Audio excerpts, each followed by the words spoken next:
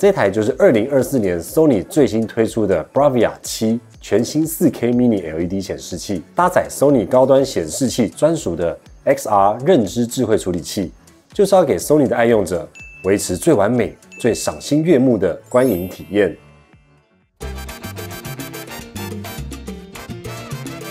Hello，大家好，我是魏魏先生。在历经了两年 4K 投影机的体验之后啊，我们家今天就迎来了一台全新的 4K 显示器，而且来的啊还是一台才刚刚问世的 Sony 主流系列 Bravia 7。对于 Sony 的显示器啊，我一直都保持着非常期待的心情，因为每次到展间啊，看着各样的显示器一字排开的时候，我总觉得 Sony 家的显示器啊，看起来就跟其他家不太一样。但到底哪里不一样呢？今天啊，我们就透过这台 Sony 的 Bravia 7。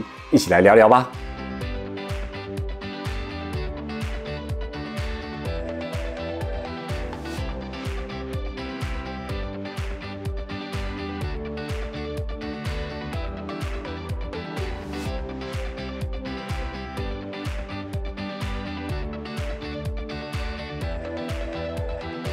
这次开箱的 Sony Bravia 7五十五寸四 K Mini LED。是二零二四年六月份才上市的新品。从外观看起啊，以我们观影的角度正面看过去，极窄的无缝边框设计，保有经典简约的 Sony logo。这系列的显示器啊，有五十五、六十五、七十五。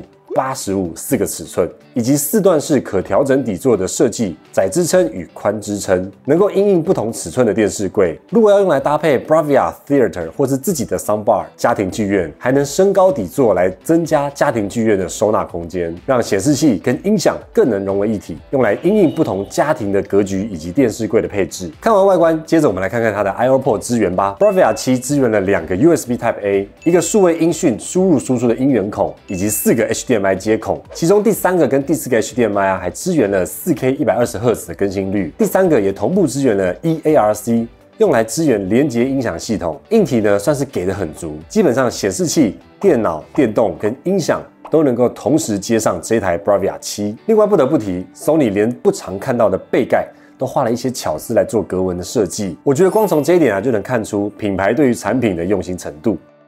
外观硬体看完之后啊，接下来我们就要进入。这台电视的重头戏 Mini LED Bravia 七啊，跟最高阶的 Bravia 九使用的呢，都是 Mini LED 的面板，搭配 Sony 他们自己独家的 XR 极致精准。背光控制技术让 Mini LED 啊可以发挥到最高的极致，提供更明亮的画质，提高对比度，还能够减少光晕的问题。画质不仅是逼近了 OLED，还可以更亮、更耐用，降低它的耗能以及荧幕延迟。还有 XR Motion Clarity 极顺明锐，都是以智慧的方式强化 4K 画质，把影像的噪点呢降低。再来这台显示器呢，它可以分析画面中高速动作的物体，让 Mini LED 的背光啊准确的去同步，这样子让我们在看运动赛事啊，或者是二零二四最夯的奥运赛事的时候，都能够流畅又清晰。我们家因为小孩还小，所以当时啊搬来青浦的时候，我就把家里的 Soundbar 全部都送出去了。不过这次打开 Bravia 七，看了几部电影跟听了一些音乐之后，可以跟大家说，我觉得。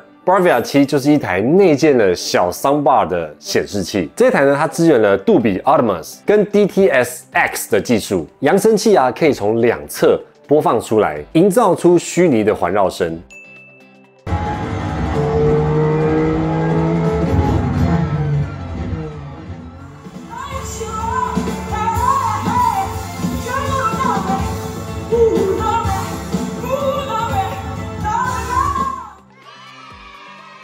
那我们在看节目的时候呢，就更能有临场的感受。像我自己常常会看新闻啊、股市，或者是那种有主持人在讲话的谈话性节目。全新的 Voice Zoom Three 也能透过 AI 辨识人声来调教它的音量，把人声放大，这样就可以打造出更清晰的对话表现。Sony 的显示器啊，虽然我在家里面过去都不是天天用，但因为我爸妈家他们搬新家之后，新买的电视就是 Sony 八十五寸的显示器，所以操作上呢，我也算是略懂略懂。这台 Bravia 七啊，它内建了 Google TV，在我们家要怎么使用 Google 呢？基本上是连小花生都知道的事情。那现在连 Bravia 七啊，它都推出了语音搜寻功能哦，只要拿起遥控器按下 Google 的语音搜寻助理。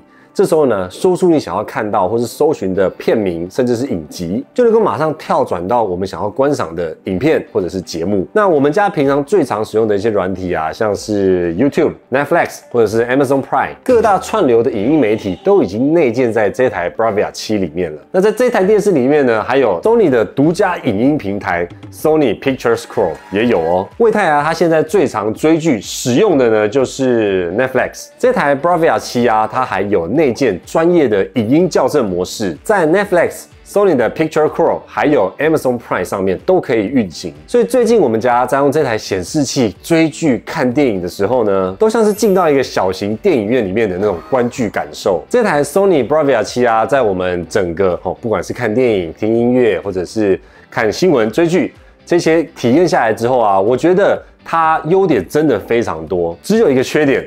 就是我发现五十五寸的显示器呢，对我们家来说真的是有点太小了。因为我们家的客厅啊比较深一点点，所以未来呢，如果家里面真的要入手一台 Bravia 系列的电视的话呢，应该就会直上八十五寸的显示器。推荐大家，如果你们今天想要换一台新的显示器的话呢，Sony 主流系列的 Bravia 七，我觉得会是一个很不错的选择。好的，以上啊就是今天这台 Sony Bravia 七四 K Mini LED 显示器的开箱体验分享。如果喜欢这支影片的话，记得帮我按赞、订阅、分享。那我们就下次影片见喽，拜拜。